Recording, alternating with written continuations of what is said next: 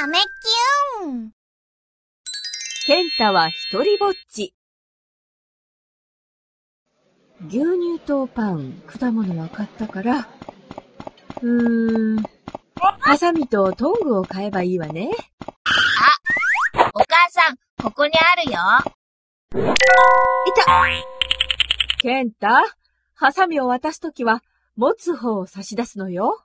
はい。はあ、ズキズキするわ。トングはどこだったかしら？あ、見つけたお母さん、ここ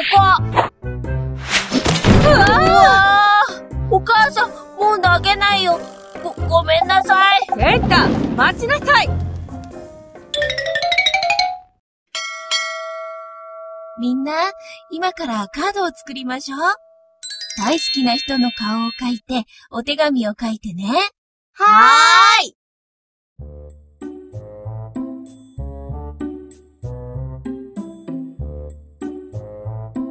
全部書いた。じゃあ、お手紙を書こう。あ、筆箱を持ってこなかった。ケンタ、鉛筆貸して。うん。はい。いたうー、血、血だ先生、血が出たトシ君どうしたのあら、ケンタのせいで、指から血が出たトシが鉛筆貸してって言うから鉛筆を渡しただけだよ。ケンタくん、鉛筆のような尖ったものを渡すときは気をつけなきゃ。わかったはい、先生。トシくん、おいで。先生が直してあげるから。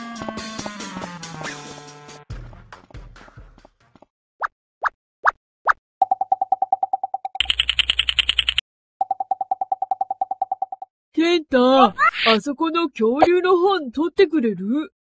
うん、いいよ。はい。うわ、僕の足、下手いよ血は出てないね。なんだと？落としたからじゃない。もうケンタと遊ばない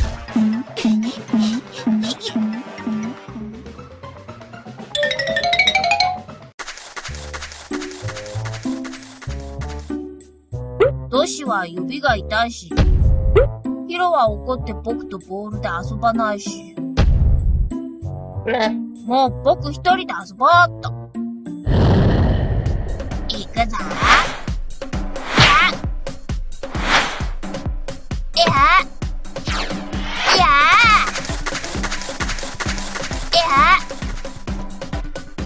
ああ、面白くない。何して遊ぼう。へへ、あれをボールに当ててみよう。えいは私の牛乳誰？誰が急に終わったの？逃げなきゃ。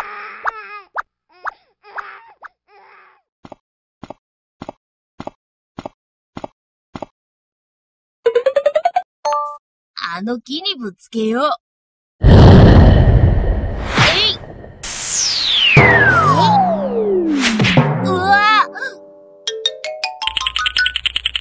よくも僕のお腹に、痛い目に合わ。せてやれ。いやあお前こそ、痛い目に合わ。せてやる。えいうわ。あ痛いあ、血、血だげつけ、むやみに渡して、他の人たちを怪我させた罰だ。へへ、いい気味だ。お母さんに言いつけてやる。言いつければお母さんがケンタの言うこと信じると思う？なんだと？え いえい、おに